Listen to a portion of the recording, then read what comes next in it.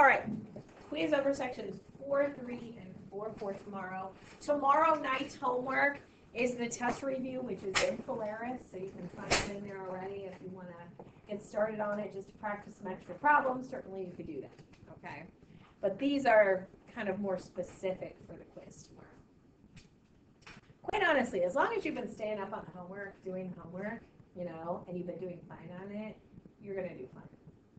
All right, so it says find dy dx, that's our derivative. We have our inverse trig functions that made their appearance in these sections. So when you see tangent inverse, what comes to mind? Like what's the shell of it? What do we start with? We write one over one plus something squared, right? So what's the something? The four x to the fifth. And then We multiply to the chain rule, we we have to do the multiply chain twenty x. twenty x. Good. Okay, so that ends up multiplying by the numerator, giving us twenty x to the fourth.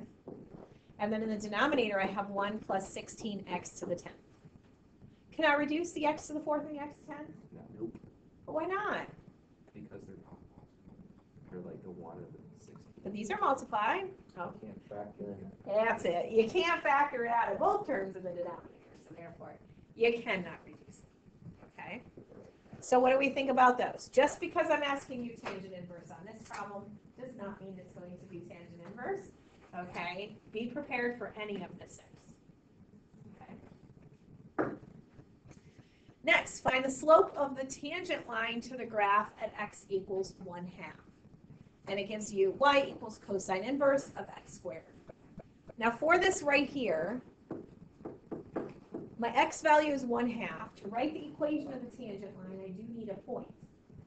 So I probably should take and plug it into the calculator.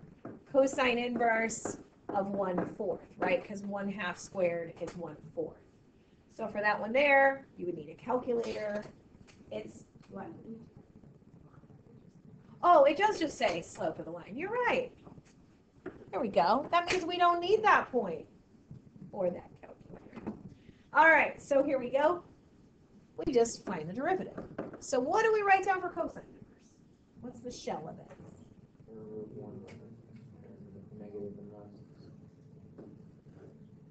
1 minus whatever squared.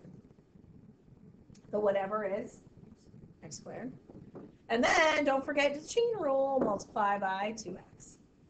So here we get negative 2x over the square root of 1 minus x to the fourth. Now, they didn't just ask for y prime here. They asked for when x is 1 half. So I have to come here and plug the 1 half in. So I get negative 2 times 1 half. So that numerator becomes negative 1. I get the square root of 1 minus 1 half to the fourth, which is the square root of 1 minus 1 16th. Which we can't leave it just hanging out like that. Like you can't have a fraction and a fraction. What is 1 minus 1 16th? Fifteen, sixteen. sixteenths. So this gives me negative 1 over the square root of 15 sixteenths. Again, I can't leave a fraction and a fraction like that. You know when you have a fraction under a square root that it means the square root of the top and the square root of the bottom. What's the square root of 16? So this is negative 1 over the square root of 15 over 4. Still, I have a fraction and a fraction. But can't I now multiply by 4 to get it to cancel? Because multiplying the top and bottom by 4 is just like multiplying by 1. So final answer, negative 4 over the square root of 15. If you want, you could put negative 4 rad 15 over 15. That is also a correct answer. But AP at this point is like, listen, we don't need you doing any more algebra than necessary. You're fine leaving it at this. Okay, both are correct though. Okay. Everybody see how I got this bottom one? Multiply the top and bottom right. Okay. Okay, next one. Find the derivative of this one. So we also had our exponentials that appeared in section 4.4.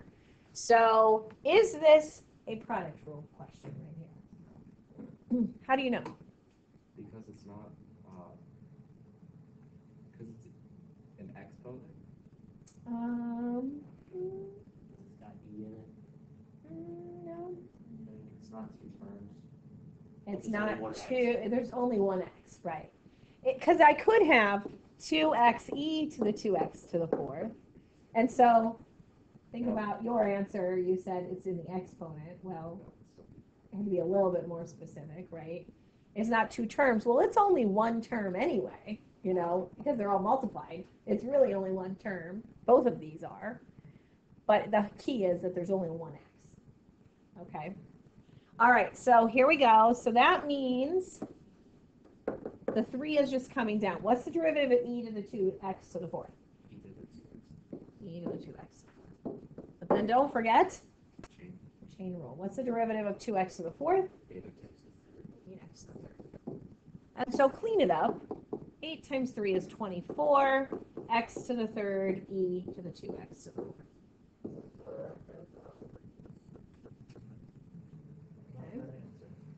Questions on that?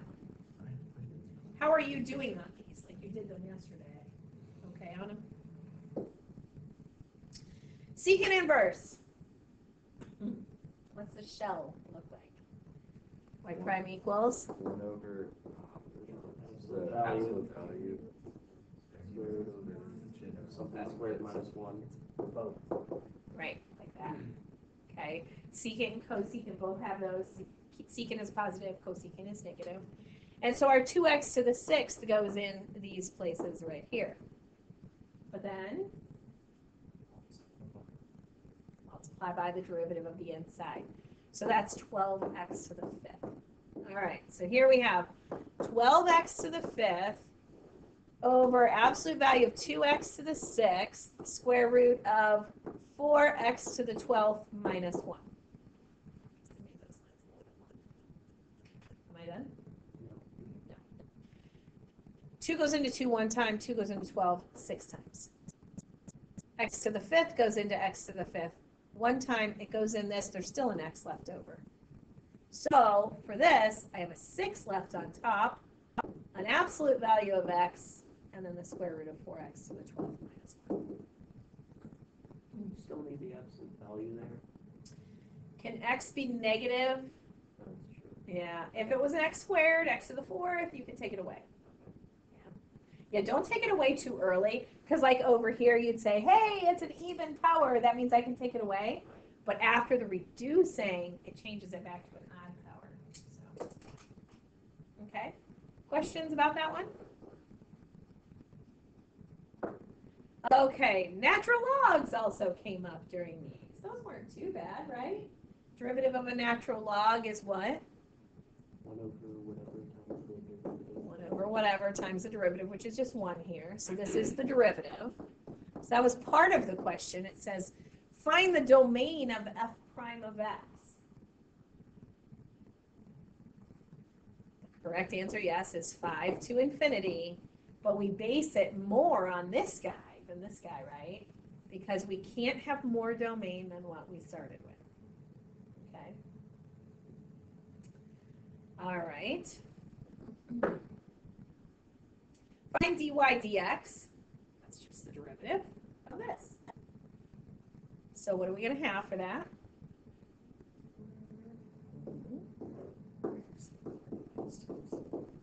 Good. Am I done?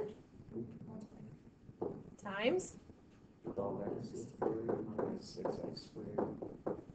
Okay. So we have 12x to the third minus 6x squared over 3x to the fourth minus 2x cubed. Am I done now?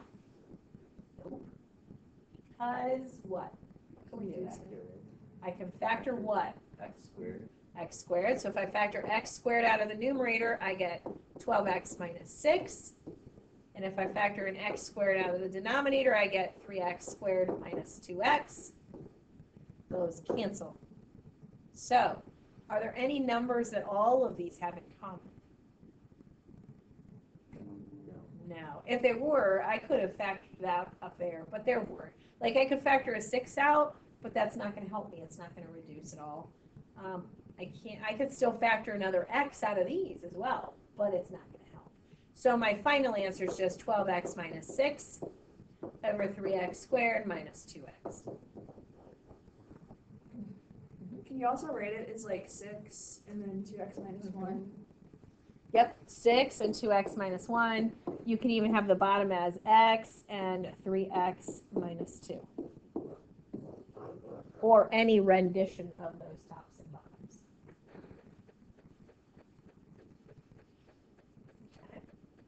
Okay.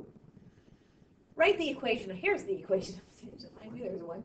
Write the equation of the tangent line to y equals e to the x at x equals two. We didn't- we didn't have Oh, you don't have that one? Well, let's add it on we didn't. So, Let's say, stop it, at six. six then. Okay.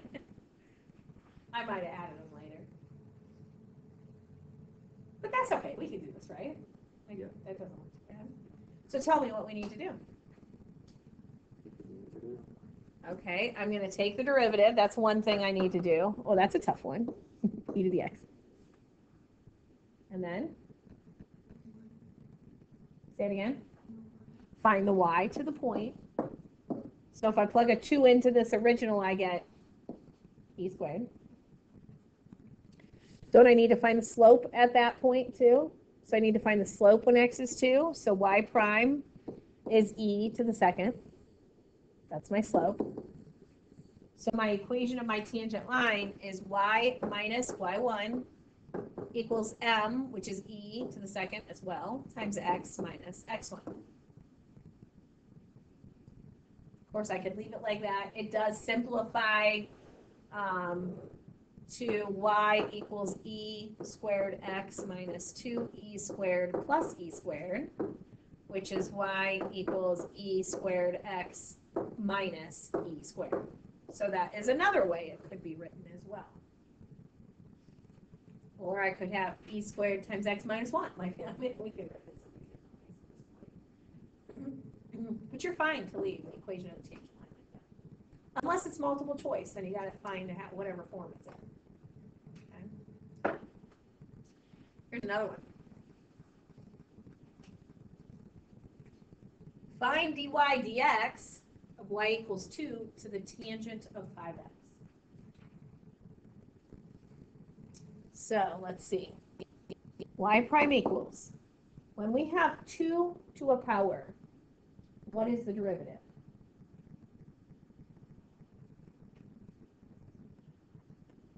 Two to a power. What do you think? to, to the, um, natural there somewhere. Okay, so it's, it stays the same for the first part, just like e to the x. And then, yes, you're right, there is a natural log in there. What do I take the natural log of? The two, right. I put a times in there, that's not supposed. Okay, but then, chain rule. So I go back up here and have to multiply by the derivative of tangent of five x. What's the derivative of tangent? Secant squared. secant squared of five x. And then I have to peel that layer away, and multiply by the derivative of. None of these ever combine together. Do not, somebody listening, do not say, oh, well, two times five is ten to the tangent of five x. This base is not the same, so I cannot combine those two things together. Okay? That's your answer. Like, you don't even have to move it around. Just keep it. Well, then let me, for the fun of it, find dy dx of y equals log base 9 of x squared plus 2.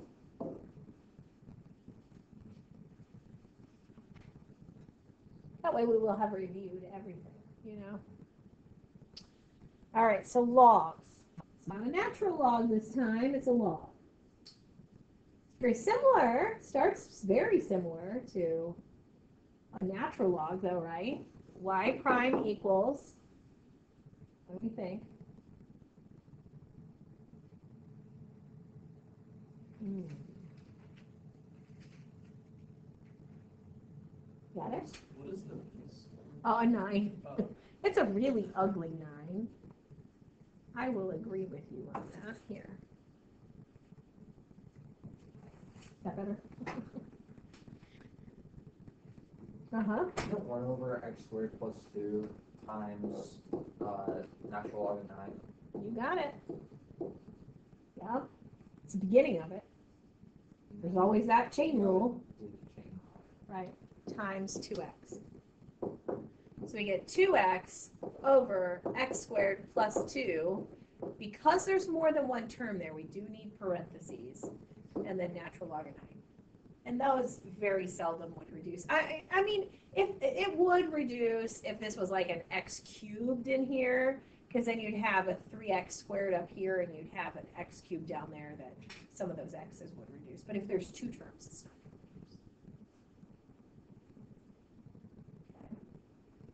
That, my friends, is your review, okay? That covers anything that you're gonna see tomorrow. Do you have any questions from any of the homeworks from these last couple of sections that you want me to go over, talk about, explain, anything like that? Also, is the is the test, uh, or the quiz eight questions, nine questions? I, I don't know, I haven't made it up yet, but it's gonna be right around there. I'm not gonna have any AP multiple choice on there. You don't have to worry about that. Well, and not until we have the opportunity to go over those, so. There'll be a day that I do all those together. Okay, is there a particular one, particular one from any of the homeworks? Just tell me the section and the problem number, and I'm happy to go through it. You struggled through one, even if you got it, you just wanna see it. Anything, yeah, Um, you do.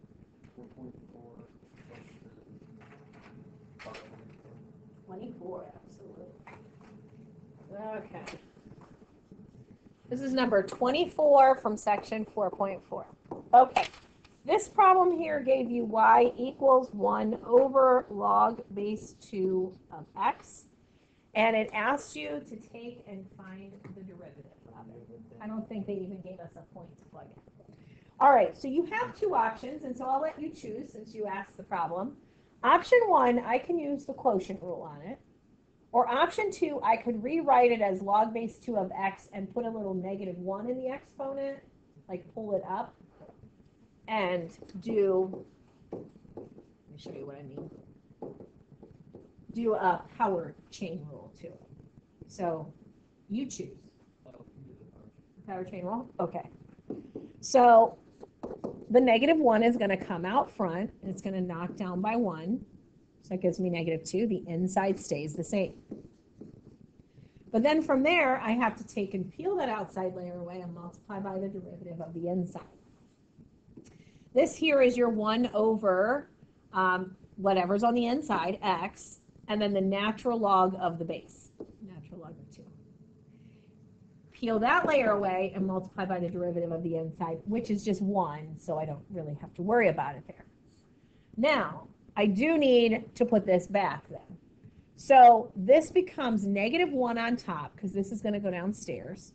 And then I can have my x natural log of two, and then times log base two of x, but this whole thing here is squared. I'm changing the negative back to positive.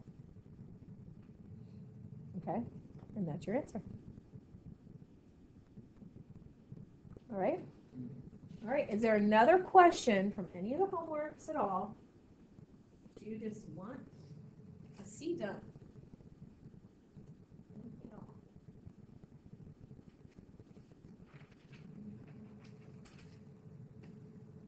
Can you do 48 on 4.4 2? Ah, yes. Got the two X's. Number forty-eight was y equals x to the one over natural log of x. Kind of messy with that right there. All right, when you have x's in both the base and in the exponent, we said what you could do is you could just take the natural log of each side, okay? So when I take the natural log of this side, I get this. When I take the natural log of this side, what happens is this exponent goes out front because it's a logarithm rule. So we have natural log of y equals 1 over natural log of x, natural log of x, like so. Right? Are you okay with that step? Yep. Okay. Now here, look at this. Those cancel. So I have natural log of y equals 1. I have not taken the derivative of this yet. I think the directions asked us to take the derivative. So now let's take the derivative of both sides. The derivative of natural log of y is 1 over y, but then the derivative of y is dy dx. And the derivative of 1, 0.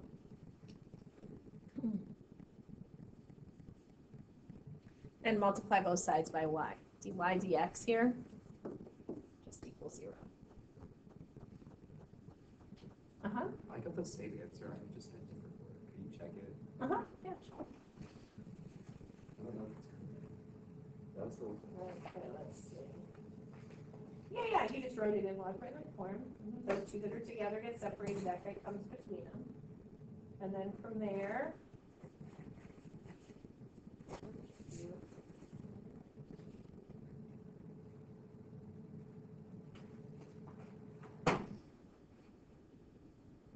I don't know what you did from here to here.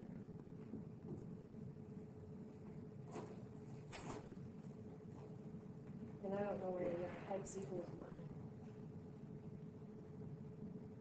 I'm just saying, because they're at Yeah. that, but that doesn't give you that revenue. So that step is okay, right there. Yeah, but that's it. Okay.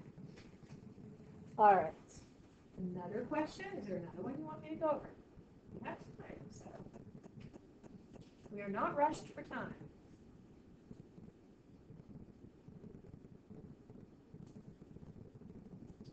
Can we do forty-two?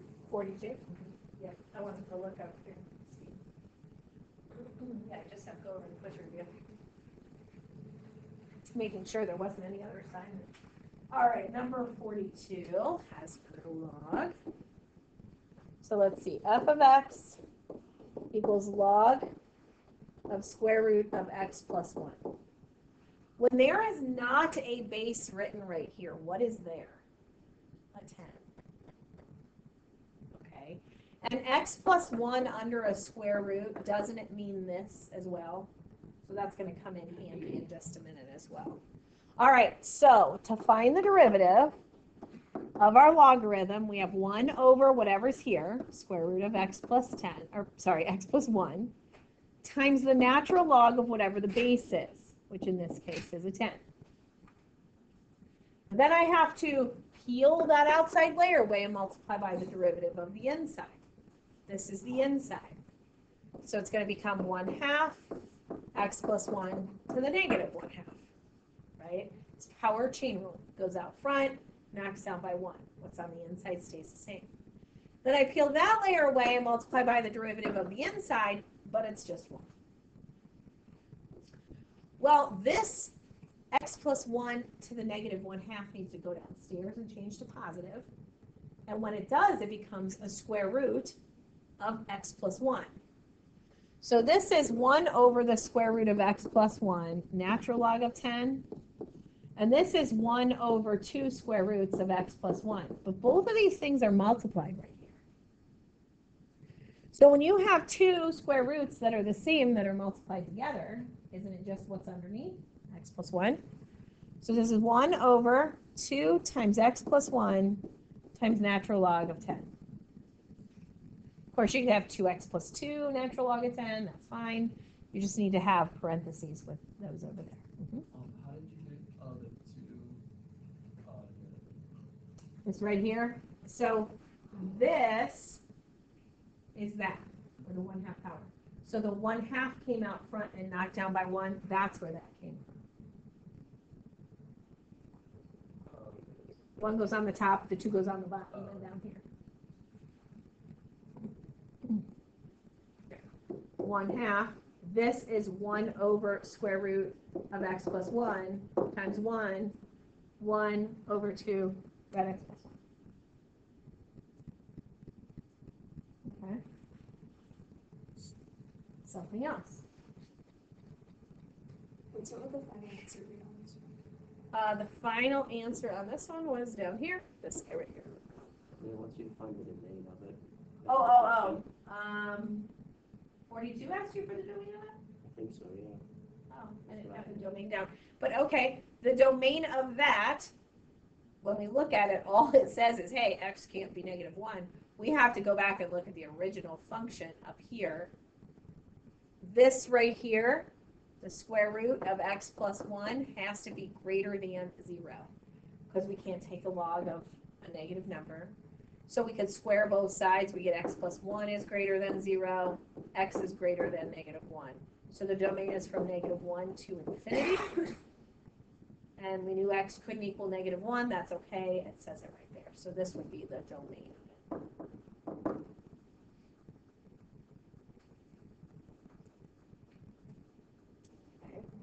So even when I ask you for just the domain of this, even though we only use the original, I'm still looking, there's still points for finding the derivative of the function. So make sure you find the derivative. Okay. Another question? Something, anything? You're just ready for me to okay, too. My voice would be okay